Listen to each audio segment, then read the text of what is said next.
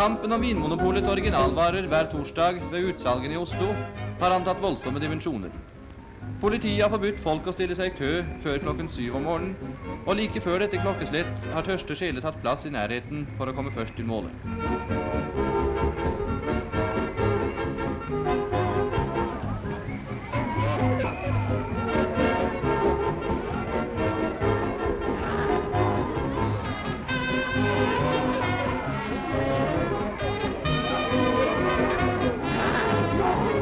Disse får i hvert fall ikke avvare.